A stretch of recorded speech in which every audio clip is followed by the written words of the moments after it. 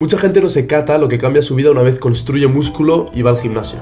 Está lo obvio, vas al gimnasio, construyes músculo, estás haciendo ejercicio, comes más sano, por lo cual estás más feliz, porque llevas una vida más saludable. Pero es que más allá de eso, tío, consigue algo que todos deseamos.